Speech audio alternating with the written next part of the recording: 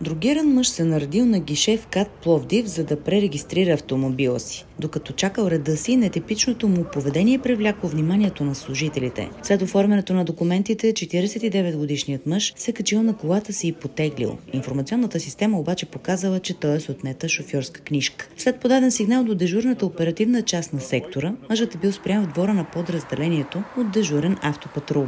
Нарушителят е разбрал, че ще му съставят акт за шофирането без книжка и се заключил в колата. Ситуацията обаче се осложнила още когато мъжът решил да избяга и внезапно потеглил с бясна скорост, като в същото време заплашвал, че ще сложи край на живота си. Униформените блокирали колата на другирания и той се врязал в бетонна преграда. Един от полицаите е щупил прозореца на шофьорската врата и извели нарушителя.